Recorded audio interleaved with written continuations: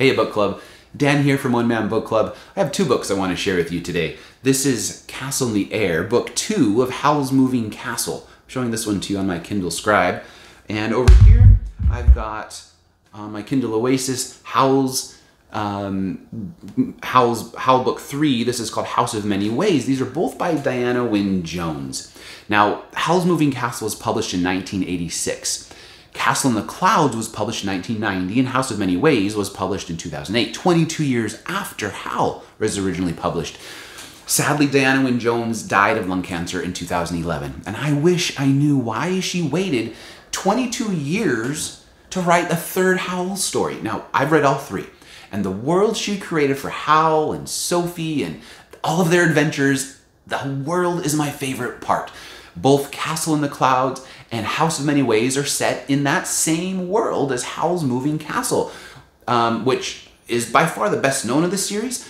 If you haven't read, if you didn't know, there's these other two books, so um, I highly recommend you check them out. Fans of Howl uh, can expect to find familiar characters and familiar places uh, in, in both of the follow-up story, uh, uh, stories, but in both of the sequels, there's new characters that take the lead.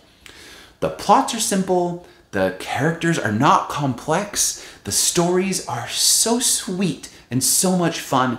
There isn't really much to these stories, but as with Howl's Moving Castle, it's the world Diana Wynne Jones created. That's what shines for me.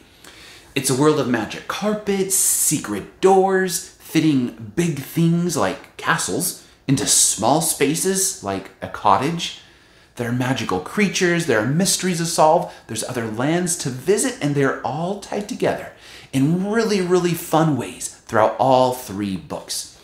Uh, these books are simple fun, it's uncluttered.